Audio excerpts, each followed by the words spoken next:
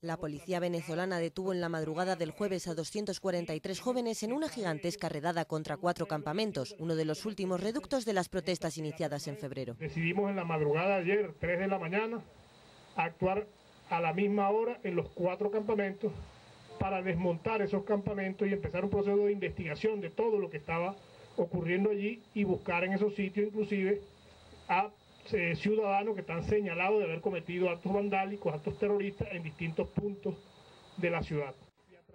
El ministro señaló que fueron incautadas drogas, armas, explosivos, morteros y granadas lacrimógenas con las que supuestamente se enfrentaban a los cuerpos de seguridad. Esto señala claramente que hay un aparato logístico detrás de toda esta operación y que no es, como lo hemos dicho reiteradas veces, una protesta espontánea. La actuación se produce horas después de que el gobierno y la oposición postergaran una nueva reunión del complicado diálogo de pacificación.